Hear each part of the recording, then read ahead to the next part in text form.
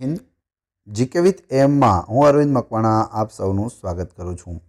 મિત્રો, આજના વિડીયોમાં આપણે જનરલ નોલેજના મોસ્ટ આઈએમપી પ્રશ્નો જોઈશું, જે પાઠ્યપુસ્તક આધારિત છે અને પરીક્ષાઓમાં વારંવાર પૂછાય છે. આવનાર પરીક્ષા માટે ખૂબ જ અગત્યના રહેશે. પંડિત ઓમકારનાથનું પ્રદાન કયા ક્ષેત્રમાં છે? શાસ્ત્રીય સંગીતમાં રહેલું છે પંડિત ઓમકારનાથનું પ્રદાન. લોથલ કઈ નદીના કિનારે વસ્યું હતું? તો ભોગાવો નદીના કિનારે વસ્યું હતું લોથલ. સરદાર વલ્લભભાઈ પટેલની આગેવાની હેઠળ ખેડૂતોએ ના કરની લડત ક્યાંથી શરૂ કરી? તો બારડોલીથી શરૂ કરી હતી ના કરની લડત. કોણ આગેવાન હતા? સરદાર વલ્લભભાઈ પટેલ.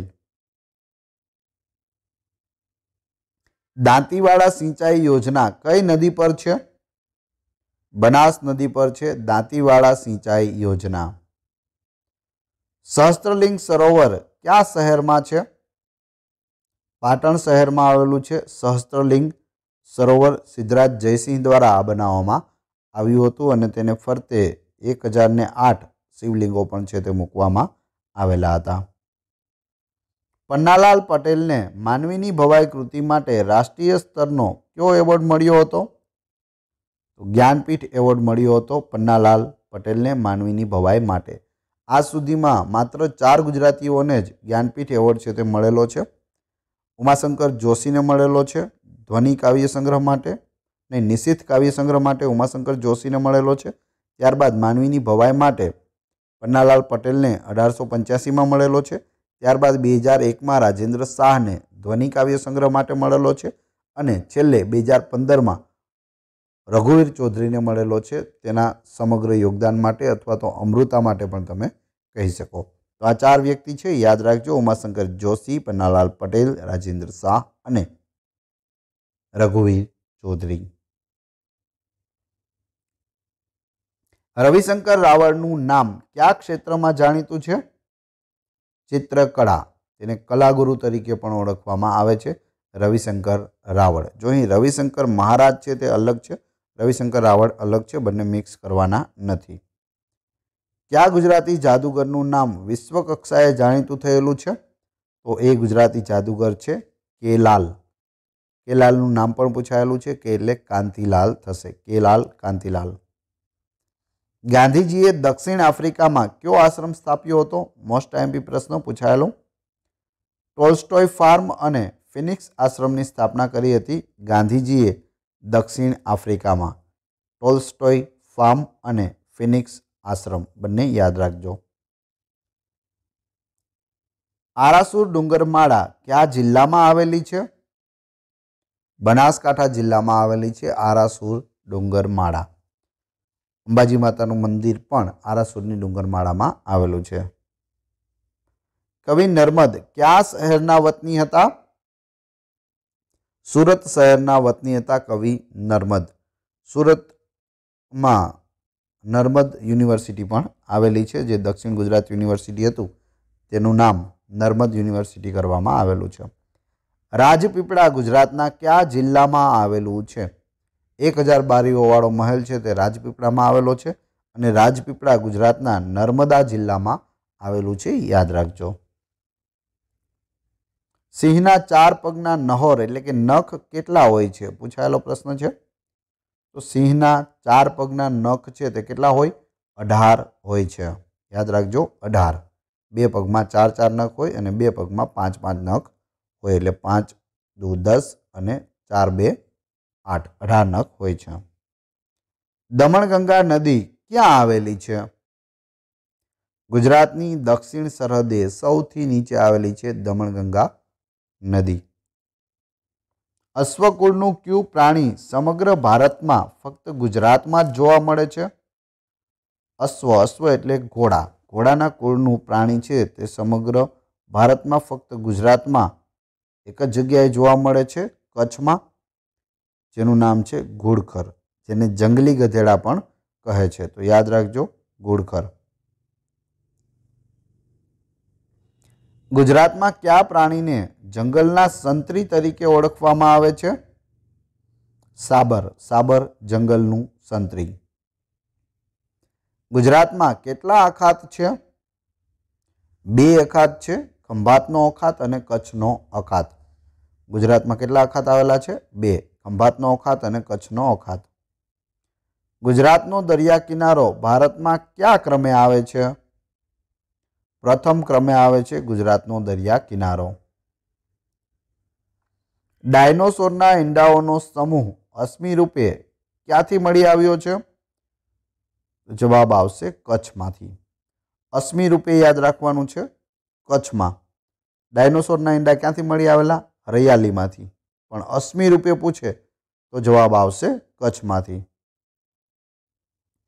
ગુજરાતનો કયો જિલ્લો સૌથી વધુ વન વિસ્તાર ધરાવે છે? ડાંગ જિલ્લો સૌથી વધુ વન વિસ્તાર ધરાવે છે. ગુજરાતમાં કઈ જાતિના વૃક્ષો સૌથી વધુ જોવા મળે છે? ગાંડો, બાવળ. જ્યાં જોવો ત્યાં તમને બાવળ જોવા મળશે. ગમે તે જિલ્લામાં તમે જાઓ ઇવન કચ્છની અંદર પણ જાઓ તો ત્યાં પણ તમને ગાંડો બાવળ જોવા મળશે. ગુજરાતનું સૌથી નાનું અભયારણ્ય કયું છે? તો એ છે પોરબંદર પક્ષી અભયારણ્ય. ઝીરો પોઈન્ટ ઝીરો નવ ચોરસ કિલોમીટરમાં ફેલાયેલું છે અને ગુજરાતનું સૌથી નાનું અભયારણ્ય છે. ભારતનું સૌથી મોટું પક્ષી અભયારણ્ય કયું છે? નળ સરોવર, એ પણ આપણા ગુજરાતમાં આવેલું છે. ગુજરાતનું સૌથી મોટું પૂછે તો પણ નળ સરોવર જવાબ આવશે અને ભારતનું સૌથી મોટું પૂછે તો પણ નળ સરોવર જવાબ આવશે. બે જિલ્લામાં ફેલાયેલું છે, અમદાવાદ અને સુરેન્દ્રનગર. રાણા પ્રતાપ તરીકે ઓળખાતો વડ ગુજરાતમાં ક્યાં છે? રાણા પ્રતાપ વડ સાબરકાંઠામાં આવેલો છે. દ્વારકામાં કયું પ્રખ્યાત તળાવ આવેલું છે? તો એ છે ગોપી તળાવ. દ્વારકાની નજીકમાં જ છે દ્વારકાનું જે મંદિર છે તેની નજીકમાં ગોપી તળાવ આવેલું છે. દીપડાની વસ્તીમાં ગુજરાતનો ભારતમાં કેટલામો ક્રમ છે? તો દીપડા ગુજરાતમાં બધી જ જગ્યાએ જોવા મળે છે, જવાબ આવશે બીજો ક્રમ છે દીપડાની વસ્તીમાં.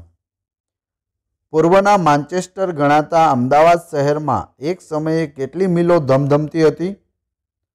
બસો ને મિલો છે તે ધમધમતી હતી અમદાવાદમાં, જેના કારણે તેને પૂર્વનું માન્ચેસ્ટર કહેવામાં આવે છે.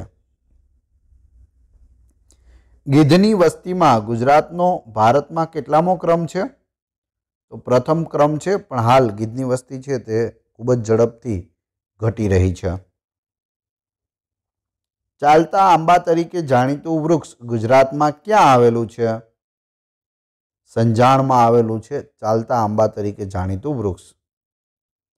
વલ્લભભાઈ પટેલને કયા સત્યાગ્રહ બાદ સરદારનું બિરુદ પ્રાપ્ત થયું? બારડોલી સત્યાગ્રહ પછી બારડોલીની બહેનોએ સરદાર વલ્લભભાઈ પટેલને સરદારનું બિરુદ આપ્યું હતું ગાંધીજીના કહેવાથી. તો બધું યાદ રાખવું. પાટણમાં આવેલી અને ભીમદેવ પહેલાની પત્ની ઉદયમતીએ બંધાવેલી રાણીની વાવ કેટલા માળ ઊંડી છે? તો સાત માળ ઊંડી છે. કોણે બંધાવી હતી? રાણી ઉદયમતીએ. કોના પત્ની હતા? તો ભીમદેવ સોલંકી પ્રથમના પત્ની હતા. રાણી, રાણીની વાવ ક્યાં આવેલી છે? પાટણમાં આવેલી છે અને વર્લ્ડ હેરિટેજ સાઇટમાં પણ તેને સ્થાન મળેલું છે. તો આ બધા પ્રશ્નો ખાસ તમારે યાદ રાખવા. પૂછે રાણી ઉદયમતી ક્યાંના કુંવરી હતા? તો જૂનાગઢના કુંવરી હતા અને પાટણમાં તે ભીમદેવ પહેલાના પત્ની હતા, યાદ રાખજો. આગળ જોઈએ. ગુજરાતનો સૌથી મોટો પેલેસ એટલે કે મહેલ કયા શહેરમાં છે? તો વડોદરામાં છે, કયો છે? લક્ષ્મી વિલાસ પહેલ. Sorry palace. Lakshmi Vilas palace મહેલ જે વડોદરામાં આવેલો છે.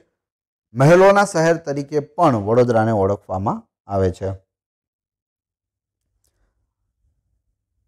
સુરત નગરને સોનાની મૂરત કહેનાર કવિ કોણ હતા? સુરત સોનાની મૂરત. કોણે કહ્યું? કવિ નર્મદ. ગુજરાતમાં હડપ્પીય સંસ્કૃતિના અવશેષો સૌપ્રથમ કયા સ્થળેથી મળી આવ્યા? હડપ્પીય સંસ્કૃતિના અવશેષો સૌપ્રથમ છે તે રંગપુરમાંથી મળી આવ્યા હતા તાલુકો ચુડા જિલ્લો સુરેન્દ્રનગર. તો રંગપુર યાદ રાખવું, રંગપુરમાંથી સૌપ્રથમ હડપ્પીય સંસ્કૃતિના અવશેષો મળી આવ્યા હતા. સુરતની સૌથી જાણીતી ડેરી કઈ છે? સુમુલ ડેરી, સુરત. દૂધસાગર ડેરી ગુજરાતના કયા જિલ્લામાં આવેલી છે? મહેસાણા જિલ્લામાં આવેલી છે દૂધસાગર ડેરી. તો મિત્રો, આજના વિડીયોમાં આપણે અહીં સુધી રાખીશું. આગળના પ્રશ્નો આપણે નેક્સ્ટ વિડીયોમાં જોઈશું. વીડિયો પસંદ આવ્યો હોય તો લાઇક કોમેન્ટ, શેર અને સબસ્ક્રાઈબ કરવાનું ના ભૂલશો. મળીએ છીએ નવા વિડીયોમાં. Thanks for watching my video